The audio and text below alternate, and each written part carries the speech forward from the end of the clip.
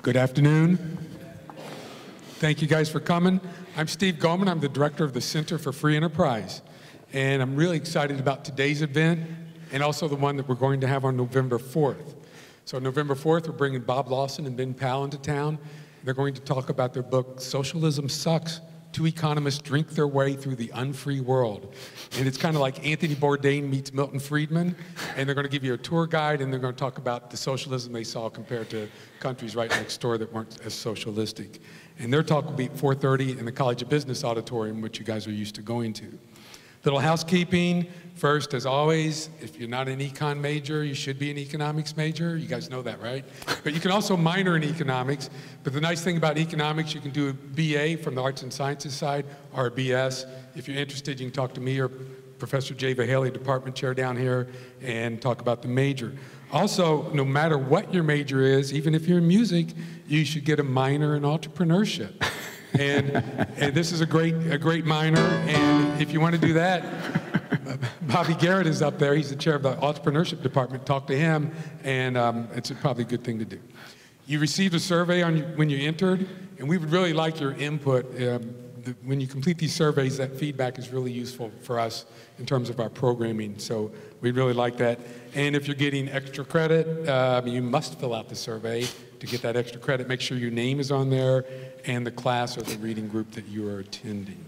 So I'm going to keep this short because I really want to hear today's event. I already heard some of it. It's great. And uh, we're very fortunate to have Rob Kapilow here today. Rob is a composer, conductor, music commentator who's traveled the world as guest speaker and host of What Makes It Great. He's the author of three books, What Makes It Great, Short Masterpieces, Great Composers, and I think I messed this up. Short masterpieces, and then great composers. All you have to do is listen. Oh, I did mess it up. All you have to do is listen music from the inside out. I didn't put my commas in right. Sorry about that. As long as they buy the book, it doesn't matter if you get the title right. But but I'm really excited. He's got a forthcoming book that my wife's going to get me for Christmas. She doesn't know that, but she does now, and it's called um, "Listening for America: Inside the Great American Songbook from Gershwin to Sondheim." And actually, tomorrow night here in this auditorium, Friday, they're going to have um, concert on the Great American Songbook. So all this great music from Gershwin and people like that. So today Rob will present All You Have to Do Is Listen. As I was writing this today, I was playing some music by George Gershwin actually, and although I was hearing it, I wasn't really listening, probably a mortal sin to some musicians. But um, so I took a brief break to actually listen to the music, and it matters. In music, listening matters in music as well as in business. And this is what we are going to learn today. So I want to thank the five student musicians who are participating in the quintet. quintet. We have on violins Emilia Carter and Rose Corelli, Joseph Steinberg on viola, Adela Hotchkiss on cello, and Thomas Pratt on double bass. I also want to thank the professor Paul Yark. So thank you musicians and thank you Rob. You guys enjoy the show. Great. Before, could we turn that down a little bit? It does feel a little like the voice of God at this moment, could, which is, of course, appropriate, but could you just, uh, better. Uh, even maybe a little bit less, even less? That's great. Yeah. Good. Before I get started, I always like to have a sense of whom I'm talking to. Uh, so, uh, even though you don't have to have the slightest interest in classical music for today's program, so you can now be relieved. You have no interest required. I am curious to know how many of you, or if any of you, would say that you regularly go to classical music concerts, regularly buy or stream classical CDs, or regularly listen to classical music on the radio if you can find it. You're classical music fans. Do we have any classical music fans? Well, that's a larger number than I thought. Okay, not bad. How many of you wouldn't call yourself fans? You wouldn't commit one of your car radio buttons to a classical station, but you sort of occasionally listen to classical music along with other kinds of music. Okay, good. Now I want you to be honest here. How many of you think the only thing worse than listening to an hour of classical music would be to listen to somebody talking about listening to classical music for an hour? Nobody? How many people really hate this stuff, just really can't bear it? No one's honest enough to admit it? Well, that's my favorite audience. All right, good.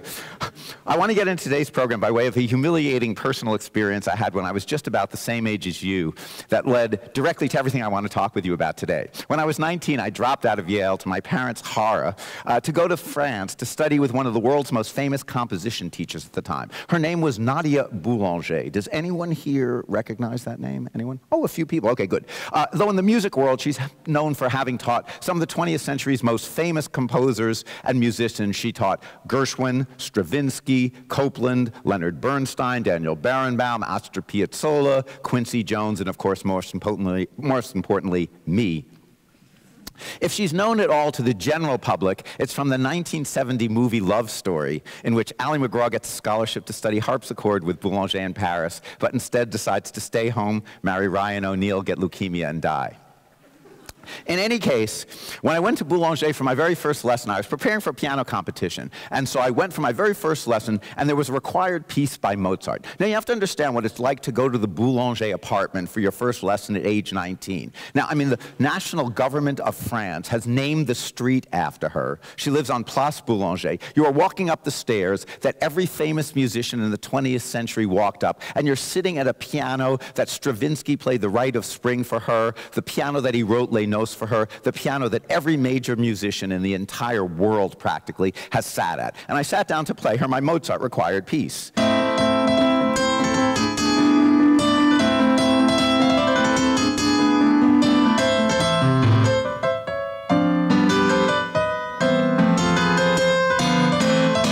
And she hit me now, at the time, she was somewhere around 250 years old. She was supposed to be blind, but she hit me right in the shoulder, that place that really hurts right there. And she hits me in the shoulder and she says, Kapilov, this is grotesque. She says, you play this exquisite passage as if it were this.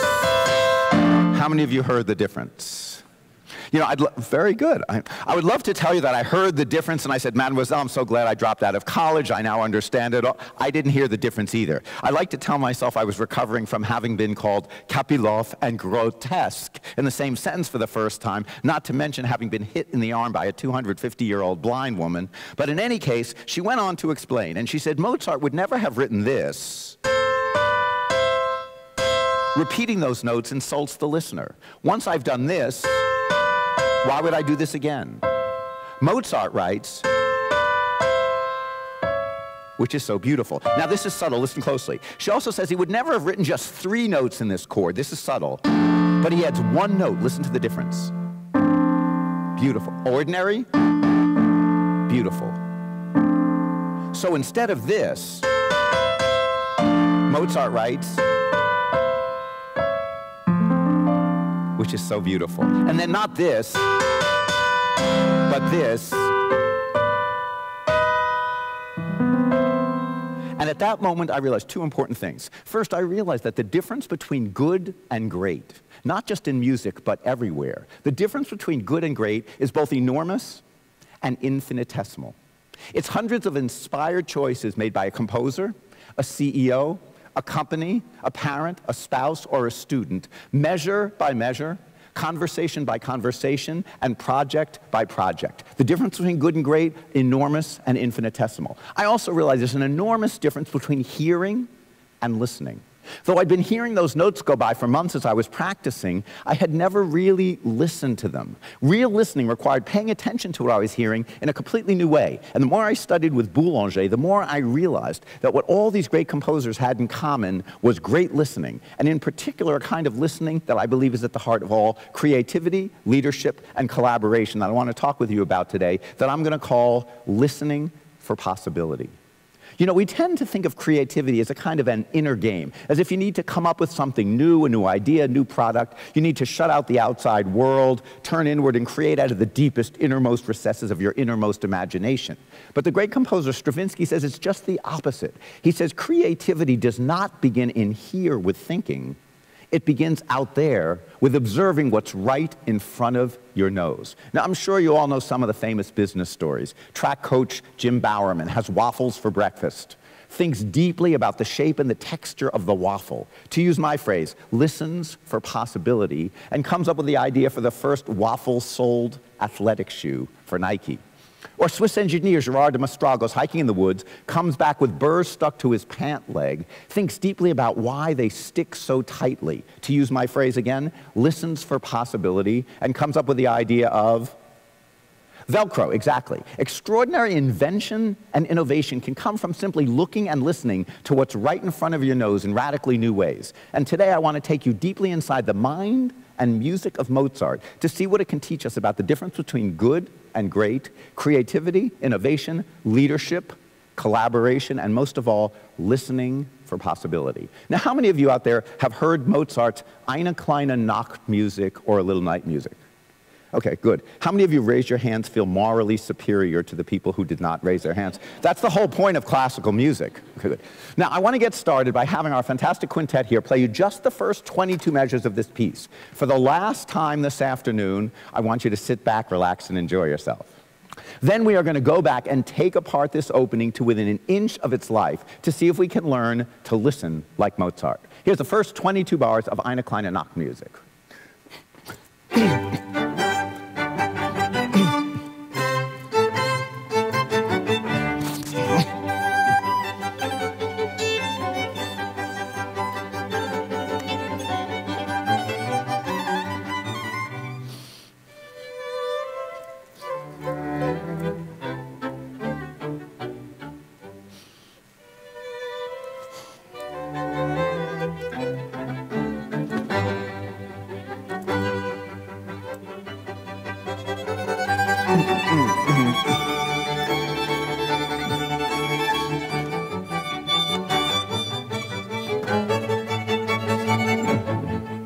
Don't they sound fantastic? Yes?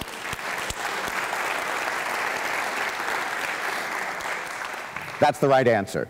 Now, one of the amazing things about Mozart's music is the pace of invention, the speed of the musical thought. You know, I was reading recently an interview with an Intel executive, and he said that at the very same time the marketing team is releasing the new fifth or sixth generation chip to the public downstairs, the research team upstairs has already finished work on the sixth or seventh generation chip that will make the one they're releasing to the public downstairs obsolete.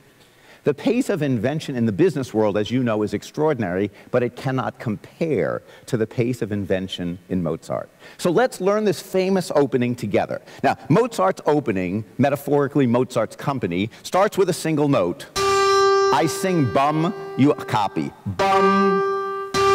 That was pitiful. Here we go. Bum. B-U-M, that's what it says in the manuscript. I sing, you copy. Bum. All right, immediately he starts to innovate, add a new feature to the product. We take bum and we add a lower note. I sing, you copy. Bum, bum. All right, this is so successful, they immediately franchise in three cities. And suddenly we've got bum, bum in three cities. I sing, you copy. Bum, bum, bum, bum, bum, bum, sing. All right, so now we've got three ideas. Suddenly we're going to turn all of this into an actual product. What have we got? We've got a note, we've got a pair, we've got three pairs. Let's turn all this innovation into a product by putting it all together and giving it a rhythm. I sing, you copy. Bum, bum, bum, bum, bum, bum, bum, bum, bum, go. Now that's almost Mozart. But what makes it great is the extra innovation at the end. Sing our almost Mozart version one more time. Ready, sing. Raise your hand when you hear the extra innovation. That extra note at the end is what makes it fantastic. Sing that version. Ready, go. But now you have to look incredibly surprised by those two notes at the end, as if it's the greatest thing you've seen since iPhone 11. Here we go. Ready, sing. Now, the minute you've got a melody, you've also got a rhythm. I want you to clap the rhythm that you just sang, but don't sing it. So sing it in your head, but clap the rhythm. Ready, go.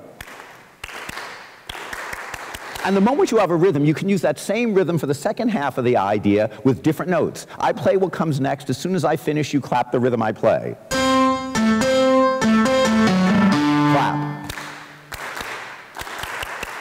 Same rhythm, two different notes, but the two ideas connect through their rhythm, like two lines of rhyming poetry that connect through their rhythm, even though the words are different, like two divisions of a company that connect through their shared infrastructure or shared core corporate values. All right, so now you've got a great opening idea. When you've got a great opening idea where you have a clear corporate identity or a great product, clear corporate identity, on-demand drone delivery service, on-demand Uber. Once you've got a great idea, you want the listener or the consumer to focus on this without any distraction. Now, Mozart could have put the great idea over here in the melody with some pointless distracting chords over here, extraneous information that confuses the marketing message. Now, he didn't, but I did. So we're going to put the melody over here and some pointless distracting chords over here that I added, and it sounds like this.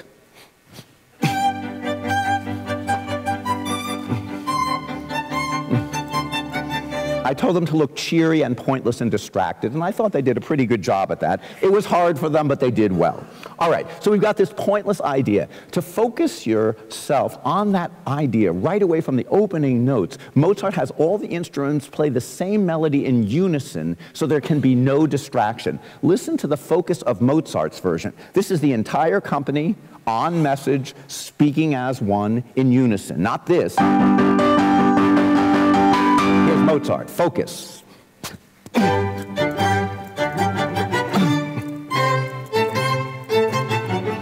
Now, I'm going to spend almost 10 or 15 minutes on the next 10 seconds of music. Not only because it's such a fantastic example of the difference between good and great, but it's also a master class or almost a seminar on the art of listening. Have any of you read Malcolm Gladwell's first book, The Tipping Point? Anyone read that book? Great. It has a wonderful subtitle. The subtitle of the book is How Little Things Can Make a Big Difference. And these 10 seconds of music are a masterclass on how little things can make a big difference. Now, let's start by looking behind the scenes, not first at the melody, the CEO or the leader, but the notes that go behind the melody, the accompaniment, or what we're going to think of as the support staff. Now, like so many Mozart pieces, this has a steady beat that you could tap your foot to. goes about this speed. Dum, bum, bum, bum, bum, bum, bum, bum, bum. To give you a feel for that, I want you to count from one to eight and then say stop, like this. One, two, three, four, five, six, seven, eight, stop. Ready, go. You know, Boulanger always used to say that if you couldn't count from one to eight like it was the most exciting thing in your life, you would have that kind of a life. So let's hear you count from one to eight as if this is the most fantastic story you've ever told me. Like one, two, no way, three, four, five, I can't believe it. One to eight with life. Ready, count. One, two, what? No way. So, and stop. What a weak stop, though, at the end. Finish with the climax. Here we go. One more time. Ready, count. One, two, what? Four, five. No way. Seven, eight, stop. Fantastic. Now, Mozart could have written one chord for each of your beats for the support staff. One, two, five, six, seven, eight, stop. To give you a feel for that, I want you to count from one to eight again out loud and do one clap per beat. I'll do it first. One, two, three, four, five, six, seven, eight, stop. Try that. Ready, go.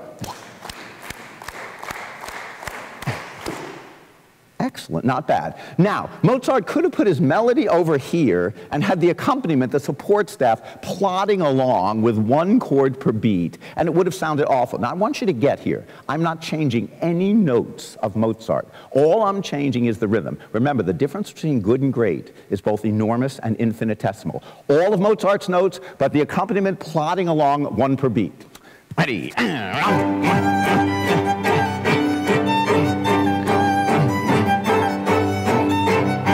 has a kind of beer hall polka kind of feel to it. And I thought they did an excellent job. I told them they had to do full body commitment on each note. Excellent. Now, this sounds sort of pretty awful and plotting. Let's pretend you're the new CEO. You come in, this is your support staff plodding along, and you decide you've got to innovate and improve efficiency. So you institute a health and fitness program. And suddenly everyone in the support staff starts running, they lose weight, and all of a sudden they can not only do one per beat, one, two, three, four, but they can do two per beat, one, two, three, four. So not one, two, three, four, five, six, seven, eight, stop, but The notes are the same. All we're doing is twice as fast. So now I want you to count from one to eight. And instead of one, two, three, four, one clap per beat, I want you to do two claps per beat like this. One, two, three, four, five, six, seven, eight, stop. Let's try that. Ready, go. Not quite together. And still count out loud. I've got to hear the counting. One more time. Ready, go. Okay, now I want you to pretend this is so Mozarty and you're wearing a wig. It's period. Oh, yes, one, two, three. With character, here we go. Ready, and one, two, three, four, five, six, seven, eight. Good. Now I want you to listen to how much better this sounds. I am not changing a single note. The only difference is instead of the support staff doing this, they're doing this. And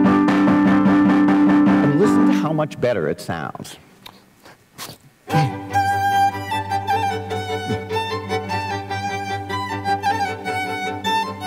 Better, right? Now, if you're listening casually, you might well think that that was Mozart's version. But if it were, we wouldn't be paying attention to it 200 years later. I was very fortunate to work with Michael Eisner for six months when he was the CEO of the Disney company, and we worked on a project together. And one of the things he always used to say at meetings was, good companies meet customer expectations, but great companies exceed customer expectations. The version you just heard met customer expectations. No one's running out of the hall. For Salieri, this would be a fantastic day. Nothing bad about this version. Let's see if we can exceed customer expectations. So let's say your health and fitness program is an enormous success, and suddenly you've got a small group of superstars who have become world-class sprinters. They can now not only do one per beat, one, two, three, four. They can do two per beat, they can even do four per beat. But since that hurts my arm, we're going to do it like this.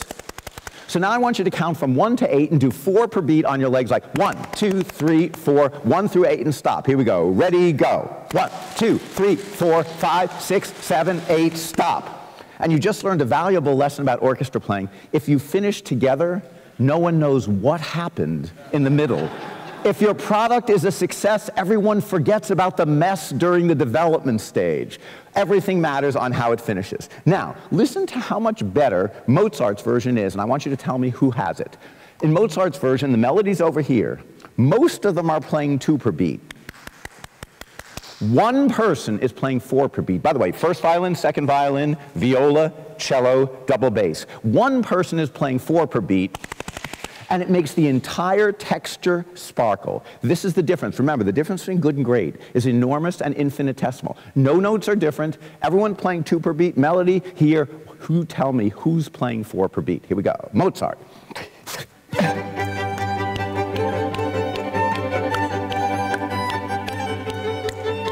Was it him? No. Was it her? No. By the way, speak up, speak up if you're wrong. It doesn't matter. I'm going to Stanford next week to give a talk called Fail, Fail Again, Fail Better. So feel free to fail, fail again, fail better. So it wasn't him, was it her? Was it him? Oh, are you related? Okay. Was, was it her? Yes, stand up. This is the big moment. This is why she's paying $30,000 a year. Now, I want you to really listen to closely. She's the one who makes it great. They're all going two per beat, bum, bum, bum, bum, bum, but she's going, and that's what makes the entire texture sparkle. So listen to her big moments. Spot, if I could have a spotlight on her, I would right now. Here we go. Mozart.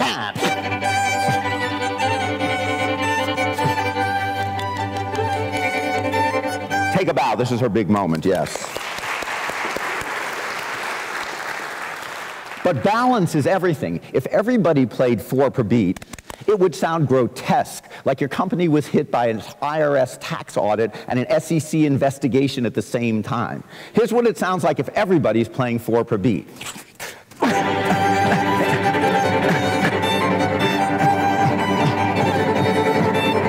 Don't try that version at home. Okay. Now, that's the accompaniment. This is what makes the support staff great. Now let's turn to what you're all interested in at the business school, CEOs and leadership. Let's turn to the melody. And let's start off with a not so great CEO. Let's start off with a CEO who has this annoying habit of repeating himself on every downbeat. Repeat, repeat, repeat. I know no one here is like this. Repeat, Mom, here's what it might sound like. This is almost Mozart, an annoying CEO who repeats himself on every downbeat like this. Re-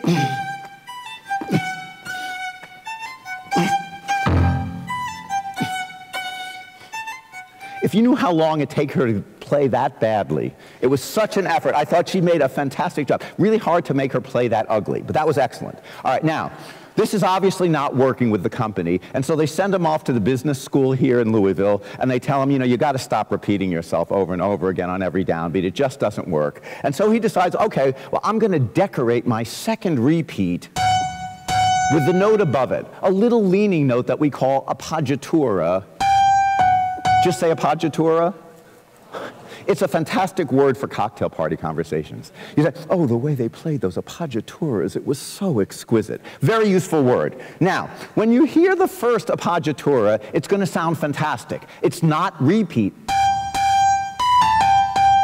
The first one sounds fantastic, but this is a lesson in how innovation must be continuous. This is the lesson that BlackBerry never learned. Okay, so now what you're going to hear is, I hope no one here is working for Black, okay. Um, you're going to hear is, listen very closely, you're going to hear repeat, then you're going to hear one appoggiatura, and it's going to sound great. The second one will sound annoying, the third one will sound intolerable. So this is a lesson on how innovation must be continuous. So it's repeat, three appoggiaturas, first one's good, second awful, third one worse. Here we go. First, nice.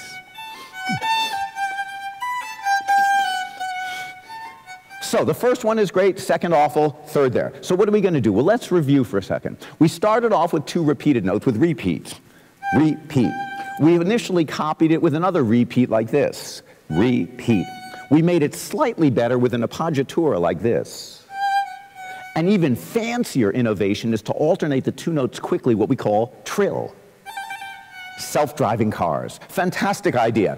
Now, when you hear the first trill, it will sound even better than the appoggiatura did, but the second trill will sound even worse, and the third one will be the most annoying of all. So again, a lesson on continuous innovation. You're going to hear repeat, three trills. Listen closely to how each trill gets successively worse. Here we go.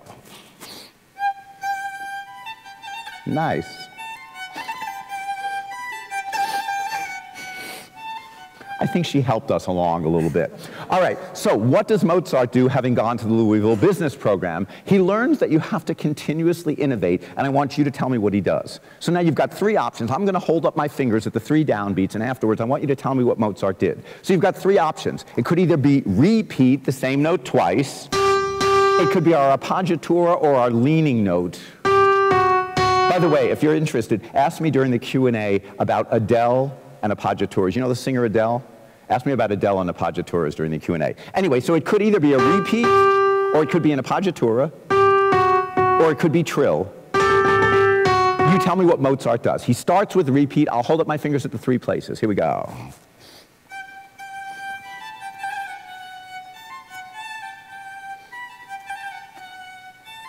All right, so we started with repeat. What came next? What came next? What came next? Exactly. How many people got it wrong and are feeling really badly about themselves at this point in time? That is our goal in classical music. Okay, good. Let's do it one more time to make sure. But the point is, notice that he's continuously varying the approach. We've got a repeat, then we've got a trill, then we've got an appoggiatura, and then we have a trill. Let's do it one more time to make sure everybody gets it. Repeat, trill, appoggiatura, and trill. Okay, but there's still one more thing that's fantastic about this. Now, I want you to be honest here. How many people here have ever had an incredibly boring job at some point in your life? Okay, someone tell me like what their most boring job ever was. Who raised their hand? Just tell me someone's really, yeah, what's your most boring job? Cashier at Walgreens. Okay, good. Let me have one more. Yeah? Oh, I lo- could you stand up and say that? I love the way you said it as well. Go ahead, one more time. A deputy tax assessor, that's great. Now, um, for some reason, which is not necessarily correct, violas in the classical period have a reputation of being the deputy tax assessor and have the most boring parts in the classical period. And if you go on the web, there are more viola jokes on the web than anything else about music, the deputy tax assessor. Now, Mozart could have written an incredibly boring version here, and it would have fit perfectly. And I want you to raise your hand when you're bored, but in particular kind of boredom. For me, boredom means you hear a pattern, you get the pattern, you think you know what's coming next, and is there anything sadder in life than thinking you know what comes next? And that's what actually comes next. So I want you to raise your hand the moment you think you know the pattern and watch how you listen. raise your hand when you think you know the pattern, and then let's see if your pattern is correct. And it does repeat. Here we go.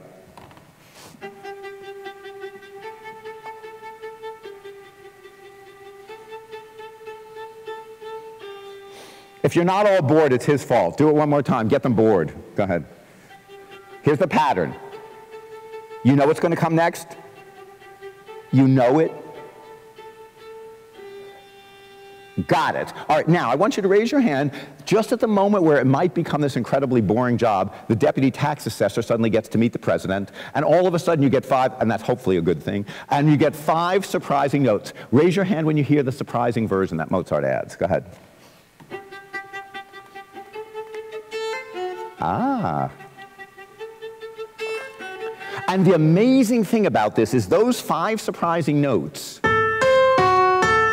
get played by the first violin an octave higher, one beat later, and they make a little round like this.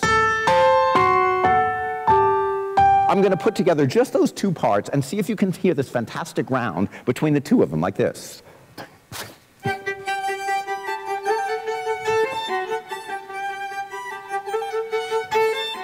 Got it? Could you hear that? Do you need it one more time? You got it.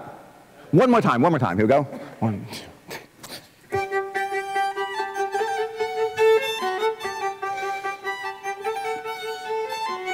Now, suddenly, not only is the boring deputy tax assessor job become interesting, but it's actually providing key material to the C-suite, to the CEO over here, who then takes the idea from the boring job there. Suddenly, the deputy tax assessor and the CEO are having lunch together and playing duets on the weekend.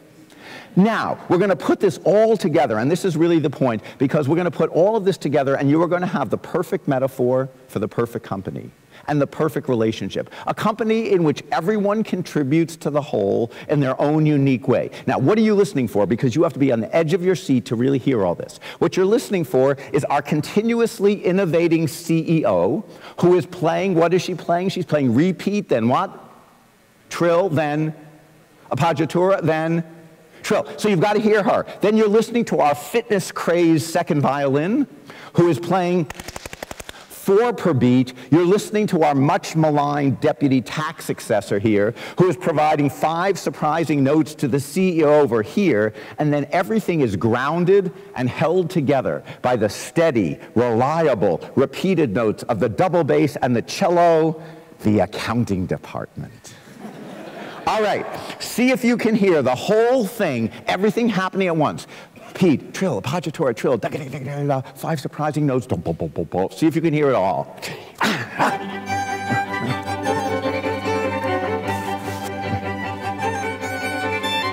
Could you hear it all? Do, do you need it again? One more time? I told them if you didn't say yes, we failed.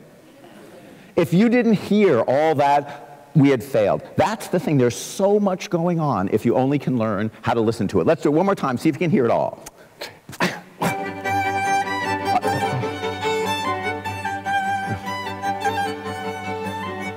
Now, the reason I've spent so long on these 10 seconds of music is not only that such a fantastic example of the difference between good and great and listening for possibility, but once you get a feel for this kind of writing, here you'll find it everywhere in Mozart. Though the surface of the music might seem simple, if you listen closely, there's always something surprising going on. Things are never as simple as you think. For example, in classical period music, like rhyming poetry, even numbered units, four and eight, are regular. But great music, like great poetry, and like great products, are often subtly irregular. Let's say a lesser poet than Robert Frost had written his great poem, Fire and Ice. It might have been all regular, predictable, deputy tax successor, four beat lines. And it might have been something like this Some say the world will end in fire, four. Some say the world will end in ice. Four. From what I've tasted of desire. Four. I hold with those who favor fire. Four. Is there anything more boring in life than da da da da da da da? Da da da da da da da da. Get the pattern. Da da da da da da da da. And then sadly, da da da da da da da. A kind of Hallmark greeting card. Anyone here who works for Hallmark? Greeting? Good, good, good. You're not funded by them or anything like? Good, okay. Now, so instead of 4444, here's what Robert Frost does. Some say the world will end in fire. Four. Some say in ice. Two. Which is already so elegant, just a simple four to two. One more time. Some say the world will end in fire. Four some say in ice. Now we've got possibilities. Now we've got a pattern. We're on the edge of our seat trying to see what comes next, four or two. From what I've tasted of desire, four. Here's the key moment. We did four, two. We just did four. What do you think is going to come next? Two, I favor fire, but that's not what he does. He does from what I've tasted of desire, four, I hold with those who favor fire four. So you've got suddenly four, two, and four, four, but the last four is not really a four, it's a not two. Get that in your ear, that subtlety. Some say the world will end in fire.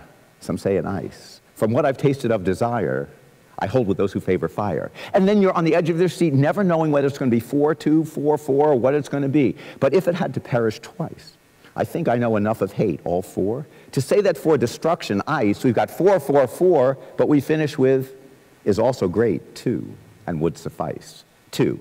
Now, the same thing happens in music. Our next phrase of Mozart starts with a four measure unit and it starts to repeat, but it gets chopped off after three bars by a surprising accent, and that accent is repeated once, not twice. So see if you can hear four bars, Start to repeat, whoops, surprise accent, whoops, repeated once, not twice, like this. And one, two, three, four. Repeat, one, two, three, shock. Accent, no accent. It's these wonderful irregularities that give Mozart's themes such life and make the difference in his operas between flat cardboard stereotypes and living, breathing human beings, that make the difference between meeting customer expectations and exceeding customer expectations. I'm going to play Mozart's second theme, and all I'm going to do is change one rhythm. How little the difference is that makes the difference between good and great. All the notes are Mozart's. All I'm going to do is change one rhythm to an annoying buh da buh da buh at the beginning of the first and third measure. All the notes are Mozart's. buh da buh da buh. And here again. So my version began with five even boring notes. La, la, la, la, la. Sing that as boringly as you possibly can on la. Ready, go. Oh, that was much too excited. Just imagine you're at a boring lecture about music. You're stuck in Comstock Hall. Five boring notes. Ready, go. Now, all Mozart does is change the rhythm. I want you to really get that listening for possibility. You know, we think we have to do enormous things to make a great company. Sometimes the littlest change. Instead of la, la, la, la, la, all he does is change the rhythm. La, la. Sing that. Ready, go if you sort of shake your head and look up, it sounds better. Here we go. Ready and la. So instead of my boring version, la la la la la la la, Mozart does this. And here, a moment for the accounting department. The vice president takes over the company. No way. The possibilities that Mozart can hear in the tiniest details are truly extraordinary. There's only one other idea in this entire movement, and in and of itself, it's utterly ordinary. This is waffles for breakfast. This is burr stuck to your pant legs. There's nothing special about this idea.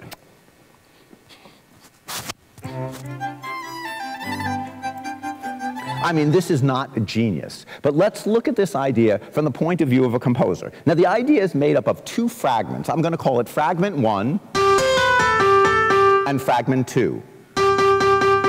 Now, this is a metaphor. This could be two companies looking to see if they're going to merge, two divisions looking how they're going to share resources. But I think since you're young and you're sort of in business school and you're sort of college, let's make this be two people in a long-term relationship or a marriage and seeing if you have a potential future together uh, between fragment one and fragment two. All right, let's see what the two of you have in common. Uh, I'm going to play fragment one, and I want you to just tell me how many notes are in fragment one. You can count on your fingers if you like. How many notes? Remember, fail, fail again, better, shout it out. How many? Seven, very good, okay. How, let's look at fragment two. How many notes in fragment two? Seven. All right, so they both have that in common. This is a basis for a relationship, enough for college, right? Okay? They both have seven notes. Now let's see if they actually have any particular notes in common. I'll try not to give it away. And fragment two. Any notes in common?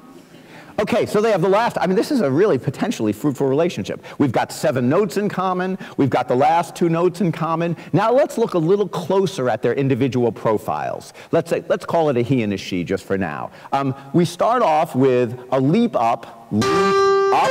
Listen closer, you're gonna have to sing it in a minute. Then a scale down, and then two notes, which it's important to learn this technical terminology we'll call D-da. So I want you to learn leap up, scale down, D-da, and sing it. Leap up, scale down, D-da. Here we go. Let's do it slowly so you can really hear the intervals. Ready, sing. Leap up, scale down. And now try it fast like this. Leap up, scale down, D-da, ready, go.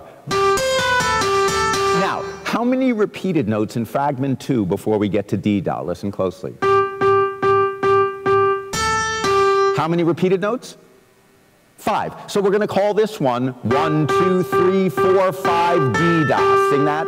One, two. Now I'm going to put the two of them together, one slow and then at tempo. Leap up, scale down, D-da. One, two, three, four, five, D-da. Sing. Leap up. I didn't hear the second part. One more time. Ready, go. All right, now, let's look at the history of their relationship. Okay, so we start off, everything's fine between them, they're happy, we're in a major key, leap up, scale down, D-da, one, two, three, four, five, D-da. Now, what the key to this is, they all have their own independent identities. This is what makes a good relationship. They have something in common, seven notes, two final notes, but they have individual profiles. He's a leap up, scale down D-da. She's a five repeated note D-da. Everything is fine for the beginning of their relationship. They're in major keys, they get to repeat, everything is good. Now, I want you to raise your hand when you hear the first crack in their relationship. Uh-oh, trouble. Okay, now, like all couples, they change and develop, but they still keep their basic identities. They might leap different distances, have different scales, start on different notes, but he is always going to be some kind of a leap up, some kind of a scale down, and D-da, and she's always going to be some kind of five repeated notes and D-da. Listen to it develop and change as a relationship. D-da, she's five repeated notes and D-da. One, two, he does his scale lower, but he's still a leap up, scale down, D-da. She's still five repeated notes in D-da. One, two, three, four, five, D-da. One more time, leap up, scale down, D-da, and one, two, three, four, five, D-da, but then midlife crisis. He buys a Porsche, starts to lose his fundamental identity, and instead of being a leap and a scale down, he horrifically changes his fundamental identity and becomes a rising scale. It's always trouble to a relationship when you become a rising scale. So instead of up, scale down, he becomes a rising scale two. And the only thing that's keeping the relationship together is D-da, the children. All that's keeping them together is D-da the children. A rising scale to D-da. She tries to change with him. She gets rid of her whole fundamental identity. She's no longer five repeated notes. She tries to become a rising scale to D-da along with him. But you can hear by the intervals how difficult this is for her. A rising scale to D-da. They try one more time in unison for the sake of the children, to become a rising scale to D-Da, but the children leave home, they're at Louisville now, D-Da disappears, and instead of a rising scale to D-Da, D-Da disappears. They're all alone. There's no one home but them. And then on the brink of disintegration, they somehow find a way to go on, and two thrilling measures, couples therapy, help them find their way home and save the marriage.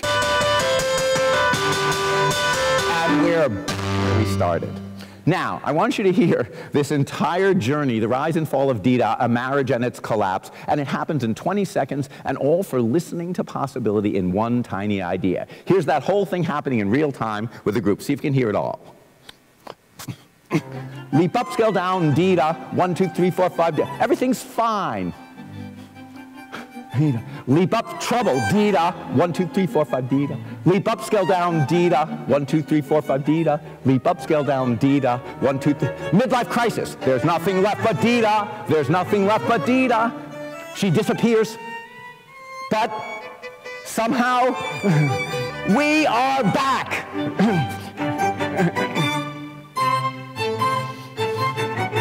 Excellent job. Good. Now, those surprises are here. They continue until the very last moment. You have to innovate until the very last moment. The first half of this movement ends with a lyrical measure followed by three short chords like this. Three short chords. The same music comes back lower. If it had copied it exactly, you'd have another lyrical measure and three short chords. But in the second bar, instead of that second bar being that, we get what my Jewish grandmother calls a kvetch, a complaint. So now you hear, instead of lyrical measure, three short chords, you hear lyrical measure, kvetch, complaint, like this. Hmm. I hate my job, I hate my job. But then when it happens again, we continuously innovate. Now the lyrical measure holds the company together, but instead of three short chords or kvetch, we float to the heavens in the second bar like this. Three soft chords should have ended the movement like this. Instead, a loud second chord surprises us and leads to the ending like this. Accent. and repeat lower parts, one dotted rhythm, the only dotted rhythm, the only bum, bum, bum in the entire movement, saved to make the ending special innovation to the last possible moment. Bravo, well done.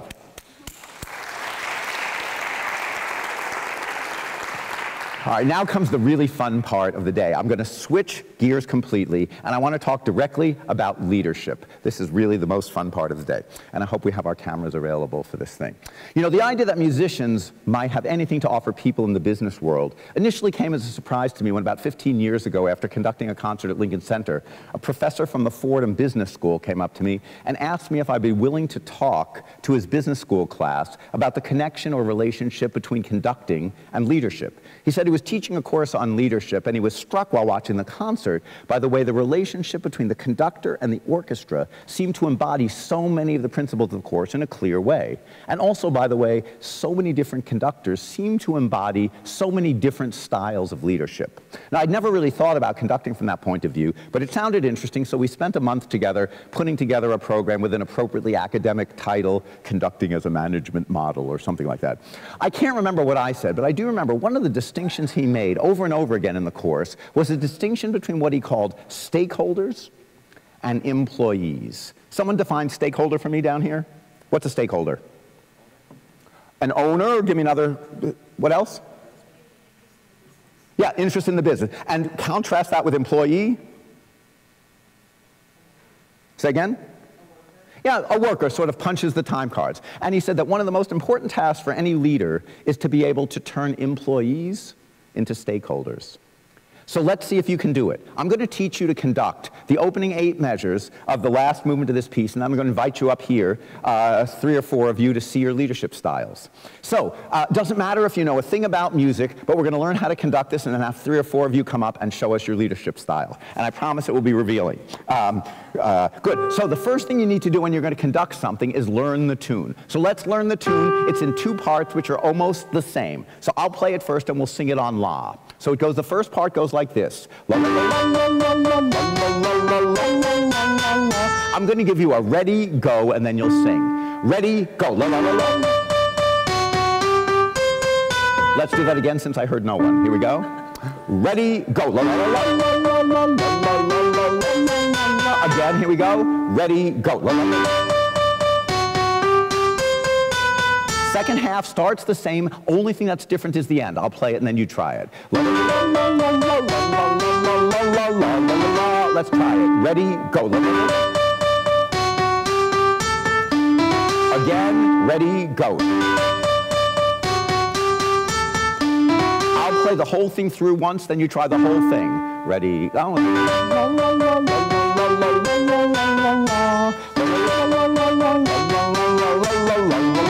Try it. Ready, go.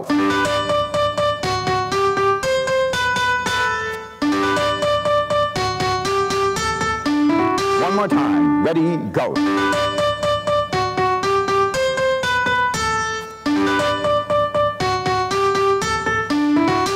Now the basic conducting motion for this is a down and an up, a kind of reverse J or fish hook. Down, up. Let's try four of those without any rhythm. Here we go. Down, up. Keep going. Try four of them. I'm looking for victims. Good. Down, up, down, up. Now, the hardest part is to get those very first notes to start, the la la la la. And the trick is to do a very good ready and a sharp snap on go, as if you're making a check mark in the air. So it would be like this, ready, go bataka bum. In fact, I find bataka bum easier to say than la la la la. So we're just gonna practice that much. We're gonna go, ready, go bataka bum, and you say bataka bum, and if you can't conduct yourself together, we're in trouble. Here we go. So let's practice just that much. Here we go. Ready, go badaka bum. One more time. Ready, go badaka bum. Say badaka bum really loudly. Here we go. Ready, go badaka bum. And you have to have the rhythm in your body. I can tell already. Here we go. Ready, go badaka bum. Then you're going to do seven up downs and a stop like this. Ready, go, badaka one, da, da, da, two, da, da, da, three, da, da, da, four, badaka five, ba, ba, ba, six, ba, ba, ba, seven, and stop. Let's try that. Here we go. Arms up. Ready, go. Ready, go. But they go one, da, da, da, two, da, da, da, three, da, da, da, four. But they go five, ba, ba, ba, six, ba, ba, ba, seven, and stop. Got it? Now, the left hand. In the fourth bar, there's a fantastic run in the second violin and the viola that to me always sounds like Mozart laughing. Oh. So I want you to point to that. Uh, it sounds like this. Uh, uh, sorry. Whoops.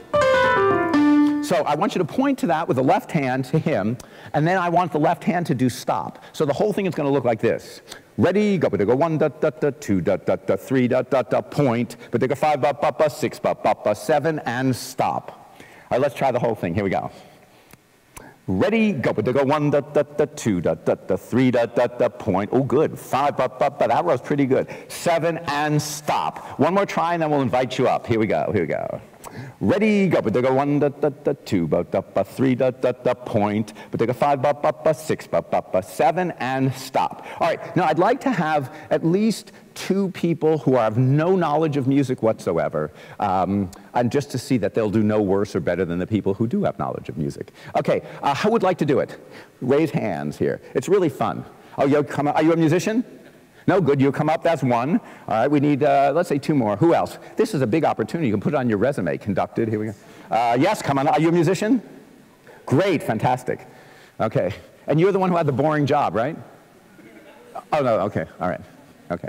We don't want deputy tax successors up here. Um, maybe one more. Who else? Oh, you want to come? Good. Are you a musician? Okay. So we have one musician. Good, good, good. All right. Good. Come up here. I mean, you know, standing and humiliating yourself in front of large crowds is perfect preparation for the business world. Okay. All right, so uh, let's see. Um, why don't you come? For, you want to go first? Okay. So let's do a little practice ourselves just before. This is without you. Just practice. So you're going to have a ready go. You can say ready go. You have a ready go, but they go one, da, da, da, two, da, da, da, three, da, da, da, point, but they go five, ba, ba, ba, six, ba, ba, seven, and stop. Okay, good. So now stand over here. Now the other thing that's really important is to look really nicely at her because she's the one who can save your life okay? And most importantly, if you're a CEO, no matter what happens, bow at the end like it was a huge hit. Okay, good. So uh, you can say ready, go, get it in your body, and let's see what happens.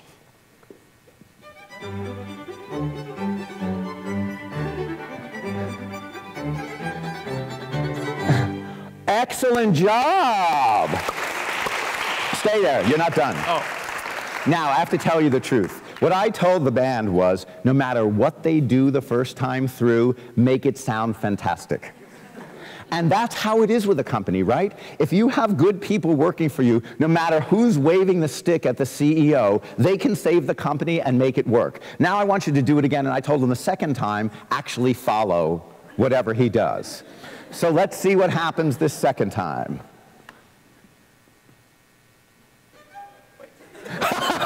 Okay, first crisis in the IPO. All right. Now, it's always interesting to see when things fall apart, how do people react? Okay, I liked your thing, wait. Okay, now, no one was even playing at that point, but we were waiting. All right, so let's see if you can figure out what to do.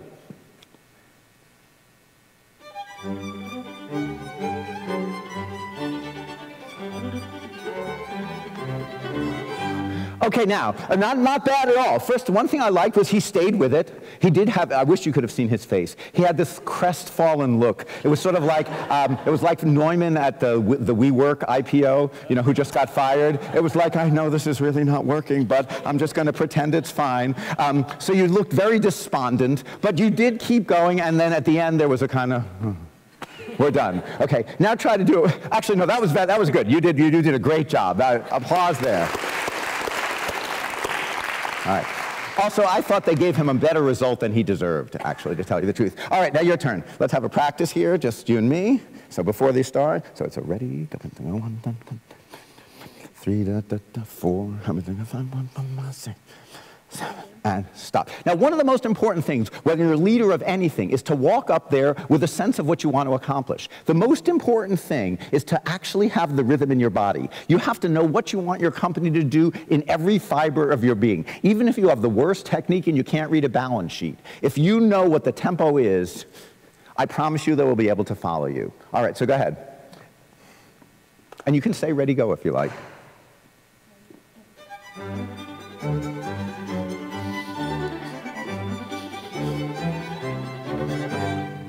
Not bad at all. First, stay there, stay there. First of all, I wish you could see the look on her face. She was happy to be CEO. She was like, she had that lowered lip bit, and she was oh yeah, this is fantastic stuff. All right, that was really, really good. Now do it again, and now they'll follow whatever she does. And, um, and now, since you're pretty good there, don't want you to say ready, go. Somehow, you're going to have to get them to go because of the way you go Okay? So it's up to you. I mean, either the company goes because of your leadership or not. Here we go.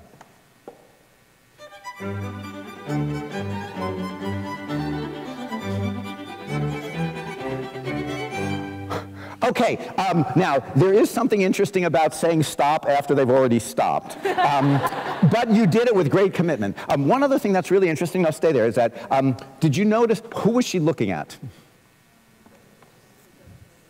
No one that was playing. Um, what was interesting, and so often you see this with CEOs, you have an idea for the company in your head, it's not communicating to anyone around you and you're not paying any attention to your employees, but you have an idea in your head. So you were conducting an idea in your head. See if you can actually make a connection to them, look at them, and actually make the company go with you as opposed to, I've got an idea and I hope they're doing it. I'm not really sure, but let's see. Okay, but I also like the foot thing. That's, that's, that's not, you've got a nice kick thing there, you know, going on. It's got a lot of character in that foot. Um, you shouldn't conduct with your foot, but We'll take character wherever we find it. Go ahead. One more time.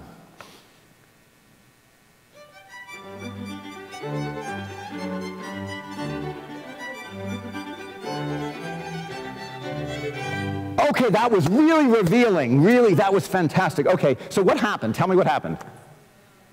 Yeah, so she starts, they, you started way too slow, and they were a little confused. But then what I liked about it was you said, okay, the company's losing a fortune, we're losing all our market share, but we're going to go down together. and we're going to pretend it works. And we got into this ridiculously slow tempo, but we were doing it together, and everyone felt pretty comfortable losing the entire company's money. Um, but you did it together, which I liked about it, and you're still not getting rid of stopping after they've stopped, but that's okay. Old habits die hard. Excellent job. Really great.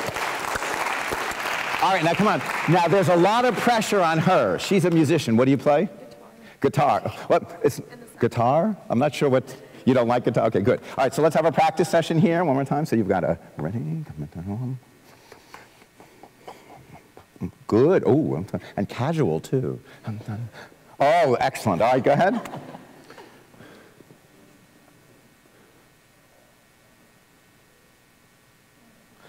In general, that's really dangerous. When they're here and you go, whoops. now, luckily, they aren't wind instruments. It's really bad when you do this and they're going, okay, okay. Yes, know your tempo, and you're going to give a ready go, right? Ready go, go ahead.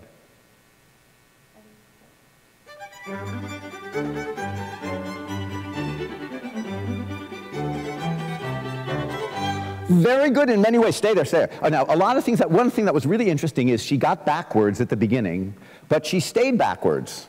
So in other words, you were on two when they were on one, but it was very steady and it was all good. But now you also conducted a little bit like, I'm really sorry I'm here. I only play the guitar and it's really all right. But now actually enjoy the experience um, and, uh, and, and follow it. Yeah. So let's get our start ready, go. Now, one of the most important things is how do you start? You know, the very first chapter of my very first book, the one you're going to buy as soon as you leave this room, um, is called Beginnings Are Everything. How something begins. Now, the first thing is almost everyone here has tried to find the beginning of the company in their head, as opposed to out here. Look at the difference. I'm just going to do something different, and you tell me what I'm doing differently, okay?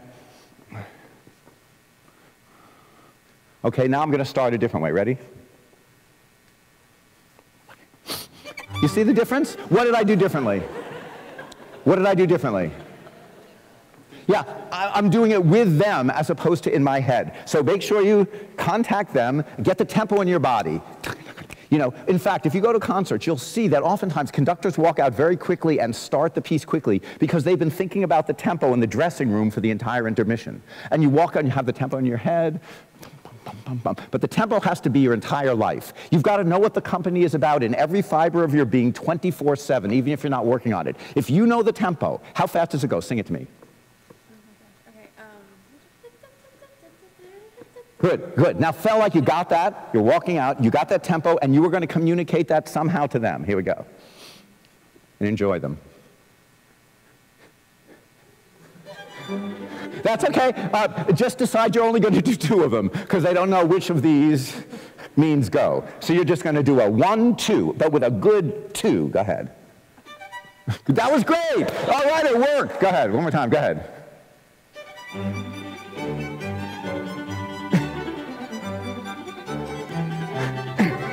yes, excellent job. Take a bow. Well done. All right, just one final thought before we hear this movement, and then we'll have our quick uh, Q&A. We're going to have a, the, we'll go through the first movement of Mozart, but just one final thought before we actually get to the Mozart. You know, I've talked a lot today about what I call listening for possibility, but I just very quickly want to talk about another kind of listening that I believe is at the heart of all creativity, innovation, leadership, and most of all, collaboration in any kind of a group, from a string quartet or symphony orchestra to a company, a project team, a staff, or even a family or marriage. Have any of you ever either been involved with or seen an improv comedy troupe? You all seen one of those? Okay, good. Um, anyone actually been in one? Oh, fantastic. Okay. Then you know that one of the most basic principles of all improv theater, which I think of as a way of listening, is an idea called yes and. And the idea of yes and listening is that if you're doing some kind of improvisation with your partner, whatever your partner suggests, it could be a line of dialogue, it could be a prop, it could be a gesture, whatever your partner suggests, you have to yes and it. In other words, say yes to it and build on it. So let's say I was starting an improvisation with all of you and I just said, Burr, it's cold in here. Someone yes and it. Say yes and. So Burr, it's cold in here. Someone do yes and of it. Yes, and Yes and what?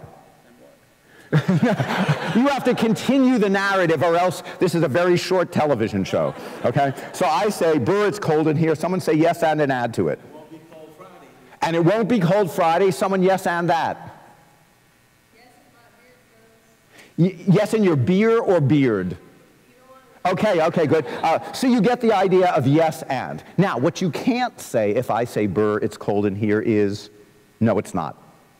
That what's called blocking, and that would be the end. And I cannot stress how important this seemingly simple principle is. Though an orchestra might hate their conductor, though a string quartet might hate each other and have violent disagreements over how to play a piece of music until the moment they walk out on stage, at the moment of performance, everyone must say yes to whatever's occurring or else no magic will possibly happen. If the conductor starts the piece too quickly, as you saw here, or the first violinist starts the piece too loudly, the quartet or the orchestra must say yes to the tempo of the dynamics and adjust. You can dispute afterwards, you can fire the conductor, you can quit the quartet, whatever you like, but you must say yes while the performance is occurring. And I believe this kind of yes and listening is the key to collaboration everywhere. If someone from your company, from your project team, from your class, from your family offers a suggestion, your first hearing should be yes and. You should come to the idea, even if it's only for five seconds, from yes, as if the idea would be correct and helpful and useful, or even better, as if it was the best idea you ever heard, as if it would solve the problem in one sentence. Five seconds later, you can reject the idea. But if you have fully committed to its possibility, truly try the idea on. You know, most of us listen to suggestions through the filter of, I agree or I disagree, already thinking of our response halfway through the other person's suggestion. Consider, rather than agreeing or disagreeing, simply trying it on. How would things look like if we did it that way.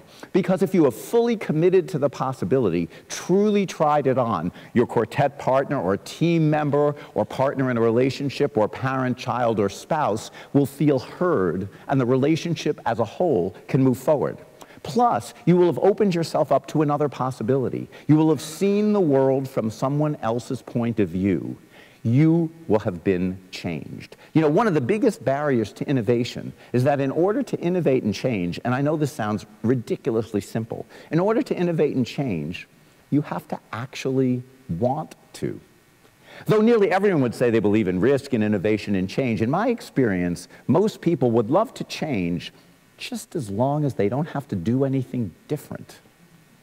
But I do not believe that you can create change in a company, a project team, family, or in any relationship unless you are willing to change. And change is not only about what we decide to do, it's first and foremost about who we decide to be. What you decide to do as a CEO, a leader, a leader, a project team leader, or a partner to be effective must truly grow directly out of who you first decide to be. And so before we finish with Mozart in our Q&A, I just want to leave you with one brilliant final quotation from the writer on mythology, Joseph Campbell, that has proved enormously useful to me throughout my career as I tried to decide who I wanted to be and what I wanted to do. And what he says is, you must be willing to get rid of the life you've planned in order to have the life that's waiting for you. You must be willing to let go of the life you've planned as you enter the school here in order to have the life that's waiting for you. Possibilities are everywhere. All you have to do is listen. And now we finish with Mozart and hopefully one of the most profound lessons of leadership that I can give you. Here we go. You tell me what the lesson is at the end. Thank you.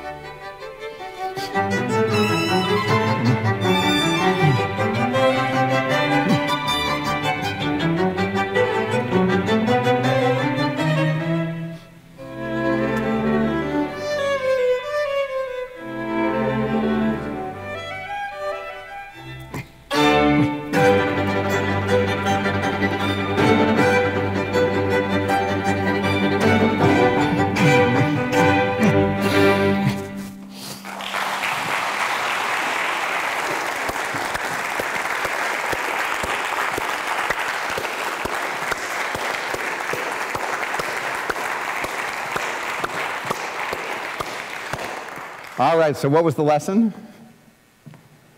Yes. Yes, the first message is hire good people, get out of their way, and then when I stepped in, only step in on top of what they're already doing. Don't get in the way of what they're already doing. Add something on top of it, but don't try to recreate what they're already doing. So hire good people, get out of the way, let them do what they're doing, and then give a little direction here and there. That's the key to all of it. All right, I thought they did one more time for them. I thought they did a fantastic job. All right, we have a few minutes for questions for me or them. Anyone who has a comment, thought, anything? Yeah, sure. You want to know about Adele and Appoggiaturas? Oh, yes. Okay, um, Adele and Appoggiaturas. Um, I, um, I did a, a, show on National Public Radio for 10 years called What Makes It Great, and so I got to know the people well. One day I was just sitting in my office, and the phone rang, and it said NPR, and uh, NPR called me, uh, All Things Considered. You know the show All Things Considered?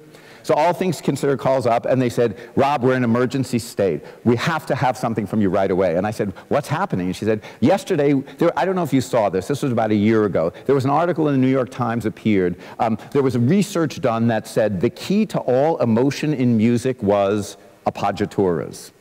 And this article was released, and so they did a show on NPR, and the person said that Adele was the prime example of using appoggiaturas to produce emotion. And they had done a show the day before about Adele and appoggiaturas. And evidently, they had gotten a huge number of calls from those obnoxious musicologists, which is almost most of us, um, saying, wait a minute, you got it wrong. That was not an appoggiatura. So they called me up and they said, we're really, really desperate. We don't know if we got this right, but we have to publish something today. We have to say something on the show about about the attraction if we're wrong or we have to say we're right, can we send a television crew to your house? We'll get them there in two hours. Can you tape a show about appoggiaturas? Because we have to air it this night. So anyway, I actually went and listened, and in fact, they did have it totally wrong.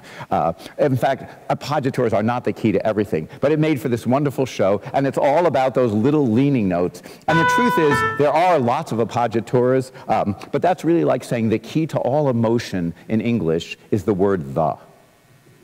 I mean, it's just a standard element. But they were so excited, and it really sort of, what I, the very first thing I said on the radio show is deciding whether or not this is an appoggiatura or not is exactly why people hate musicians. Because the term itself really doesn't matter whatsoever. But there are a lot of appoggiaturas in Adele. Uh, anyone else? Any question about anything or thought or comment? Here's a chance of a lifetime. Yes?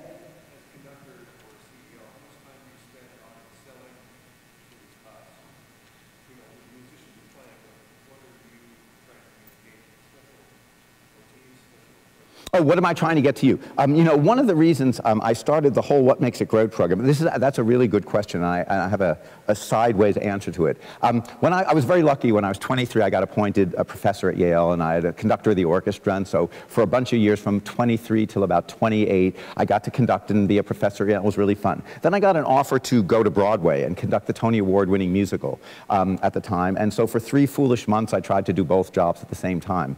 And I would sort of teach and conduct Beethoven symphonies during the day, then take the train to Broadway, conduct the show, and then take the 1120 train home after that. This is an answer to your question, I trust you. Um, um, and it was a really eye-opening experience because whatever you think about that Broadway music, audiences got it. They spoke the language of that music. They were willing to pay enormous sums of money. I mean, we were the hottest show in town at the time. It was filled every night. And then I would go back and do this classical music, and out there, people seemed to not get it at all. And the difference every day between an audience who understood what you were saying as a conductor and an audience who didn't was huge. And I decided I didn't want to do music anymore if they weren't going to get it out there. And at the time, I ran across this wonderful quote from the poet Walt Whitman, and he said, To have great poets, there must be great audiences which for me meant to have great music, there must be great listeners. And so I thought, I have to actually do something about this. Now, at the same time, and this is a story which I won't tell you, but it's a fun one, I somehow got asked to be a guest artist at the retreat for the creative writing staff of Hallmark greeting cards uh, in Kansas City. And there was a really great presentation that someone said. And what he said was, self expression doesn't happen here, it happens out there. And that was really profound. In other words, we can think we're expressing something up here, playing music, shaking our head, but if you don't get it out there, we have said nothing. And then he said a really important sentence that I think sentence that should be useful to all of you, not only in business, but everywhere in your life. He said, take responsibility for how people hear you. Take responsibility for other people's listening. And at that moment, I dropped out of my professorship. My parents couldn't believe it. I resigned from Yale, and I decided that I would take responsibility for America's listening, and I would try to make sure that when someone asked, how do you get across what they're hearing out there, um, I would do it. And that's where What Makes It Great began, which began as a radio series where I took only 10 seconds of music on National Public Radio a week, and for 15 minutes, I tried to make sure they would hear everything that was going on in those 10 seconds, because I thought if I could get America to really hear 10 seconds, I could change how America listened. And we had a million listeners, and I did it for 10 years. And then I started to do actual whole evenings, like the one we're going to do on Friday with these Broadway songs, where we're going to take apart five songs on Friday night. Probably not more than 15 minutes of music, but for 75 minutes, we're going to get, we're going to make sure that you hear everything that's great about every single bar of Over the Rainbow, uh, almost like Being in Love, these wonderful Broadway songs. So that is my answer. I never, ever now just wave my arms and do a concert. I told my manager when I was 29 that I would never again do a concert where I did nothing more than wave my arms. So every concert I've ever done, I've tried to take responsibility for how people listen, whether it's a program like this with the business groups. And last year I did the Dairy Farmers of America. I did the Turkey and Cook Meats division of Cargill Inc., the Evolution of Psychotherapy Conference. Um, so wherever it is, it's my job to make sure that you get it and you never have to ask, how do I know what to get across? So I never do a concert just a pure conductor, but taking responsibility for how people hear you. Self-expression happens out there, not here. Those are two really, really valuable sentences that, that have helped shape me a lot. Anyone else? Chance yes, go ahead. What, conductors what conductors do I recommend? You mean other than me? Um, no, the greatest conductor by far of all time, and I know this should be subjective, but it isn't subjective, this is the truth, is go on YouTube and watch Carlos Kleiber. Carlos Kleiber is the greatest conductor, in my opinion, who ever lived. And there's a bunch of stuff of it on YouTube. And when you watch it, whatever you think you want to do in business, you'll want to give it up and become a conductor. So I think he's the absolute, Carlos Kleiber is the one to watch. Just fantastic stuff. It's fun to watch Dudamel, too. Um, he's sort of one who's alive now. Kleiber has died. But Kleiber was fantastic, and Dudamel's fun to watch as well. Um, if you really want to get excited, go on YouTube and see there's a clip of Dudamel conducting these young kids from Venezuela doing symphonic dances, the Mambo from West Side Story. It's about the most thrilling thing you will ever see in your life. Search Mambo Dudamel, and it's, it's unbelievably exciting. Uh, anyone else? A question for anyone of any kind? Chance of a lifetime. Uh, yes? Yes, sure. Uh, how has your communication style developed over your career? How is, this, is, this is actually, that's a really good question for you. Um, the answer to how my communication style has changed has to do the same way my conducting style changed. And this is really good for you all to hear. You know, when I started, like everyone else, you try to copy mentors. You start conducting like your favorite conductors. You try to look like Kleiber, you try to look like Bernstein. You, my mother's hero was Bernstein. Every room in our house had a portrait of Leonard Bernstein. So you try to copy your mentors. But then what you gradually realize after years of trying, not only did I try to copy them in terms of how I move my arms, but I would listen to their rehearsals and I would try to talk to the orchestra just like they did. And then I realized after a while, you know, there's a wonderful quote uh, that says, be yourself, everyone else is taken. You know, and you realize that in the end, you should just talk to orchestras and people like you talk to anybody else. And that you don't have to assume an extra, you know, extra personality. It should just be you. And so I finally learned that I should just move the way I move and I should just talk to people the same way. If I were having lunch with you, I would not talk to you any differently than if I was talking on the stage of Carnegie Hall. So I learned that in the end, you know, I'm going to talk about this. I don't think you guys are invited. Are you invited to the Listen for the Hmm? Is the business?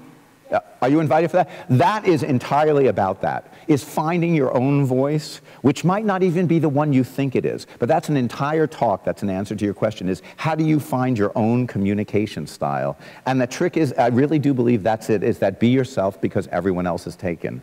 And I just, it took me about 10 years to realize I could just talk to you and the orchestra and an audience of 2,500 the same way I would talk to anyone else. But finding that, and that's what that whole program uh, is all about. Uh, maybe you have time for one more or two. Yeah, sure. Uh, what would you recommend for people, or conductors, or just people in classical music, to be able to outreach to people that wouldn't normally come to a festival? Um, to people who want to do it, this is what I would recommend. In other words, I spend my entire, I, um, I had this, uh, I was very fortunate when I was in my 20s to have like one of the most famous classical managers in the world. And all he wanted me to be was the music director of a major orchestra because we all have an idea of what you think is success, you know, being CEO of a company or whatever. And I, I remember my very first big gig was conducting at the Kennedy Center, the National Symphony Orchestra. And my manager was so happy. I was 29, I was conducting a big orchestra at the Kennedy Center. And I remember doing the concert and thinking, so this is it? This is what I've been waiting for. I did the concert, audience liked it, orchestra liked it. I was sure by the next day they would have forgotten what it was all about. And so I had to redefine what success was for me. And I had to find out what it meant to me. And at that moment, I told my manager, I said, I never want to actually be the music director of an orchestra. If you want to get rid of me, it's fine, but I never want to do that. And so I'd, that's when I resigned from the manager and I resigned from Yale. And I decided I was going to make music connect with everybody. So every project I do is attempt to connect. I'll just give you four or five. And this is, again, all what the talk on Listen for the Hmm. You all should come to that. It really will answer the stuff directly to you. In fact, I consider this and that two parts of a different thing. Um, but for example, uh, when I first had kids, um, I really, I really, before I had kids, wasn't even interested in kids. I didn't particularly like them.